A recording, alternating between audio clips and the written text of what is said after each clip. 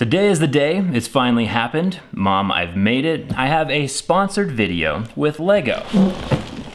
Look at the size of this thing.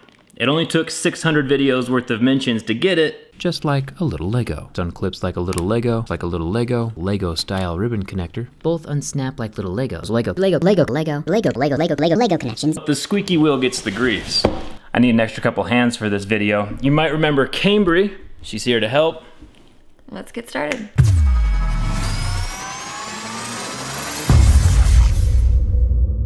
So this is one of LEGO's bigger sets. This is called the Rough Terrain Crane, and it's one of the LEGO Technics, which is a slightly more complex system of LEGOs, you know, for, uh, for people older than just children. With 4,000 pieces, we might, uh, we might be here a while. So Cambry found what we think is the, uh, the manual. This is the first half, and this is the second half. Look how thick that is.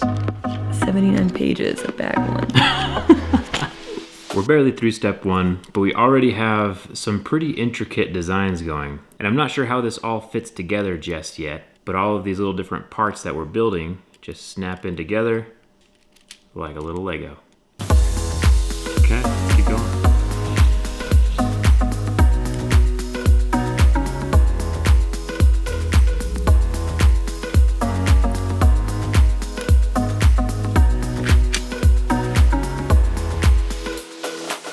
Like a little Lego. so we've been at it for about two hours or so. This is the first instruction booklet and we are this far into it. But it's been fun. I feel like it doesn't feel like it's been two hours. I lost track of time. We've done 143 steps, 144. Pretty proud of this. It's big, but it's gonna be like 10 times this size, so I'm excited to see what it looks like finished. Not exactly sure where this goes in the uh, whole uh, scheme of things, but it should all come together in the next couple hours. On to step number two. So back at two there.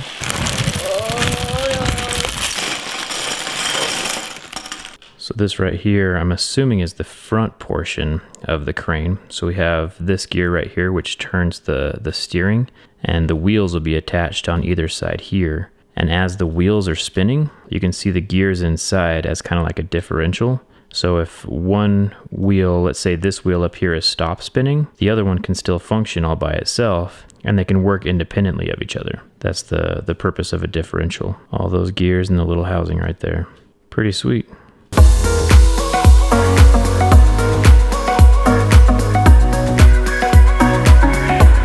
So it might not look like we've accomplished much with the bags. There's still a lot more steps left. We just finished number four.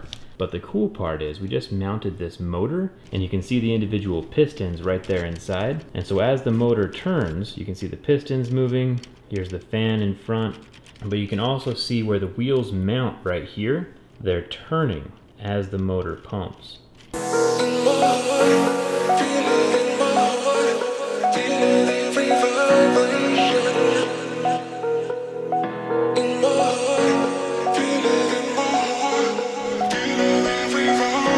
Okay, so we've been here for about seven hours working on this Lego project and we've gotten pretty far. It doesn't quite look like a crane yet. This is what it's supposed to look like. This is where we're at right now. It's kind of like a huge jigsaw puzzle, and I think we've made it through half the pieces, but the last couple of pieces are gonna probably be the trickiest because they're all the same color. What's nice though is that we have these two massive books and they're pretty detailed.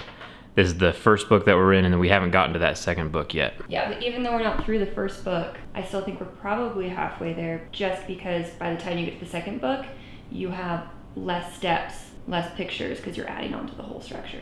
So after working on this for seven hours, it's definitely not like a difficult project, but it is very intricate and it keeps your mind and your hands active the whole time. Which brings me to one of my favorite quotes that I've ever heard by Harrison Ford. Anyone who stops learning is old, whether at 20 or 80. Anyone who keeps learning is young. The greatest thing in life is to keep your mind young. And I think building one of these LEGO Technic projects is a way to keep your mind active and to keep your mind young.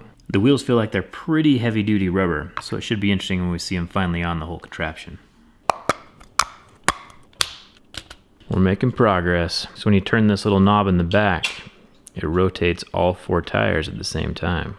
Also, fun little fact, as it's rolling forward and backward, you can see the pistons inside of the engine pistoning Firing. Firing's the word. Oh, firing. We're done with book number one. Heck Yeah. On to number two. So, one interesting thing that translates into real life construction equipment and traffic cones are these, uh, these indicators. So, if you see when they go on a piece of construction equipment, like so, they indicate by slanting down which direction you should walk or which direction you should drive your car to avoid the dangerous obstacles in the middle. So, it's nice to see that LEGO is uh, translating these real life stickers onto their project. All right, this is day three, hour. How many hours have we been doing this? I think 11. Like 11 hours, and we should be able to finish today. We're on step 10 and a half. Just to be clear, we're halfway through step 10. There's no 10 and a half. So on this crane, there is some powered movement, and it looks like it's all powered off of this one motor back here, using a couple different switches like this guy right here, switching, you know, to drop the legs down or to raise the boom. And this motor connects to this battery pack right here. If you remember those old school Lego Mindstorms, it has the same style of connector. There's these little metal bits inside of the Lego plug, and when it connects right here, the whole thing is powered. And you can go forward and reverse. So it'll be interesting to see how all of the gears and contraptions inside of this Lego Technic set work together when the uh, motor and the battery pack are working so we're about to install the lift cable. So it's powered on right now. We have the battery pack here, the motor, and then this right here is a switch. So we're gonna bring that over to the side. This right here is a switch, so we're gonna bring that back. And now the battery's on, and we're reeling the line in on this spool, all automatically. And what's cool is you can see all the gears turning inside. And I imagine if I were to switch this, it would now drop the lever out and unspool the spool. Pretty sweet. Is the part you've been waiting for?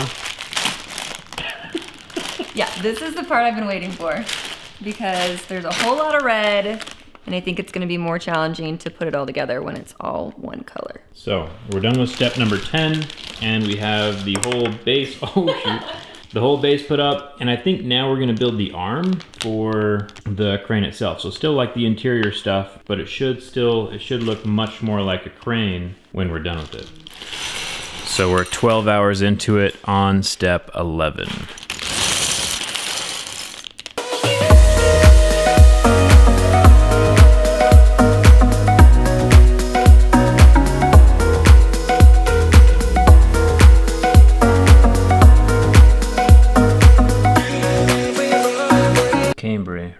Now is wiring up the uh, the cable.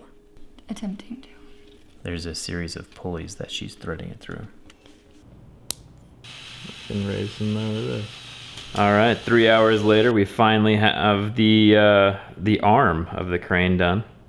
Going all the way down. Okay, and lift her back up. Construction at its finest. All terrain. We are currently on step 967, and we will be adding some exterior, some clothing to the crane.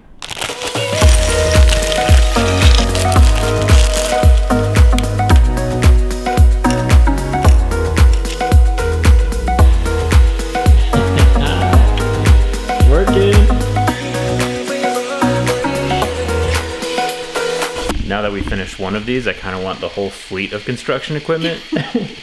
they do some pretty cool stuff.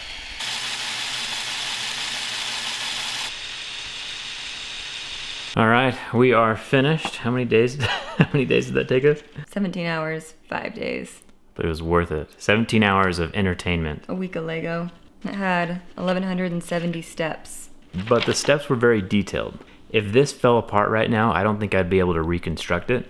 But with the step-by-step instructions, it did make it a lot easier. If I do this again, the crane is pretty sweet and the other construction equipment, but Lego also has a few cars. One is a blue Bugatti, which I think would be awesome to construct. So if you do end up buying one of these Lego Technic sets, the price factors into the entertainment of building it, as well as having something afterward you get to play with and have like as a piece of art. It's kind of like educational entertainment. If you're interested in seeing what kind of LEGO Technic sets LEGO has to offer, I'll put a link down in the description. Let me know in the comments which one you think is coolest and which one I should do next. Kinda leaning towards the Bugatti. Maybe I can talk Cambry into coming over for that one.